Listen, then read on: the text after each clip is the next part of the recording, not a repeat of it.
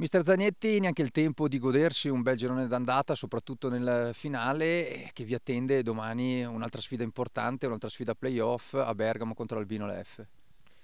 Sì, è una partita difficile come quelle che abbiamo affrontato nell'ultimo periodo, un'altra partita in trasferta in un ciclo terribile dove abbiamo fatto 5 trasferte nelle ultime 7 partite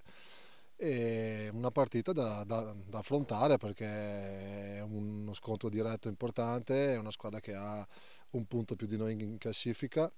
che ha dei valori, una squadra forte che l'ha già dimostrato molte volte sul campo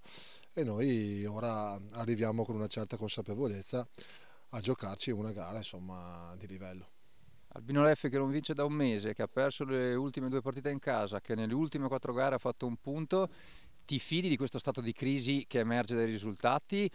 o diciamo così è una squadra come hai detto tu di valori importanti e quindi da tenere in debita considerazione? No, no, eh, assolutamente non mi fido, ma basta fare due conti. L'Albino LF la prima partita con noi ha perso, ora viene da eh, quattro risultati, cioè, eh, ha fatto un punto nelle, nelle, ultime quattro partite e nonostante questo ha un punto più di noi in classifica e quindi basta fare due conti ti fa capire che l'Albino LF ha fatto un cammino fino a un mese fa da, da almeno le prime tre, tre posizioni no? quindi vuol dire che la squadra ha dei valori importanti ha avuto un piccolo momento di flessione ma ho visto le partite eh, non sempre ha meritato di perdere eh, ha fatto anche de, de, de, delle buone gare e sono, sono sicuro che ora vorranno eh, tornare alla vittoria, però davanti devono sapere insomma, che incontreranno un, un Sud Tirol non facile da affrontare per nessuno. Per l'ennesima volta infermeria vuota o quasi, manca solo Roma, infortunato in un eh, girone d'andata, in una prima parte di stagione nella quale davvero hai sempre potuto contare su tutti gli effettivi e non dovendo fare i conti con gli infortuni.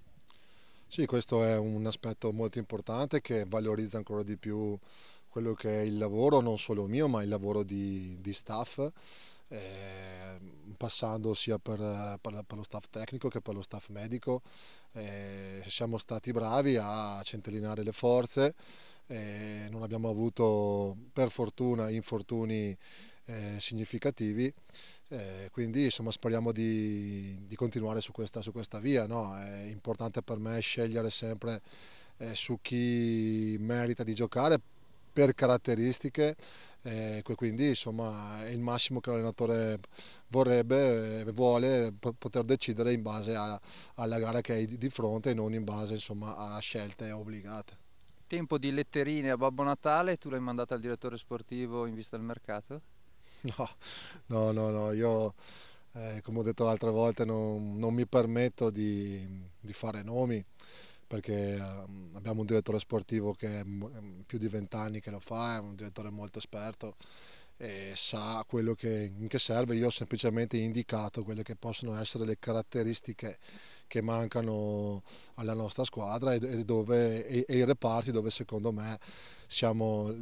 leggermente corti. Poi ci saranno sicuramente qualche ragazzo che vorrà avere un po' più spazio, vorrà andare a giocare e, e poi lì insomma saremo attenti se eh, puntellare la rosa insomma sia in uscita che in entrata.